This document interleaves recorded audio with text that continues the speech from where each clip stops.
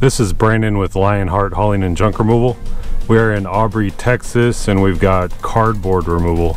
It is uh, January, it's a little bit cold outside.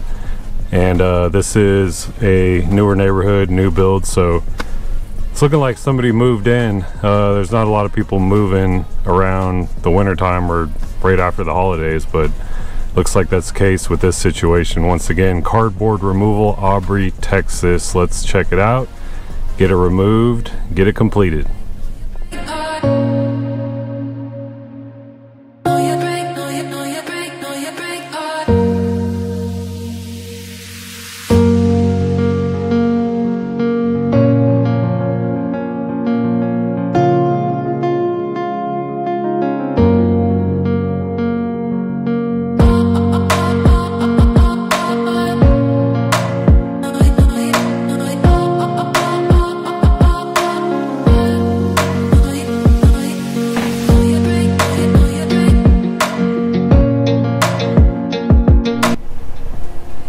We are all complete. That was a lot of cardboard, more than I was expecting. And uh, they offered to help. I told them uh, I would never ask, but if they want to offer, then I will not say no. So it's a group effort, got it done pretty quick. And they're extremely nice customers. Let's check it out, check out the load. It's actually, the 18 cubic yards is full now.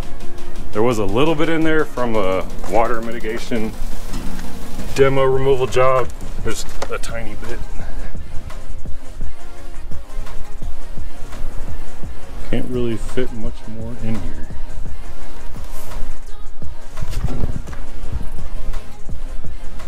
So I head to Frisco tomorrow. It's late in the day now.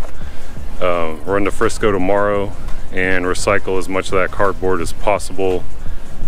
And then uh, got one big job lined up on the schedule tomorrow. But um, first off, we'll be getting rid of this cardboard and getting it recycled. Lionheart Hauling and Junk Removal. If you need cardboard removal, 940-440-2449. Lionheart Junk Hauling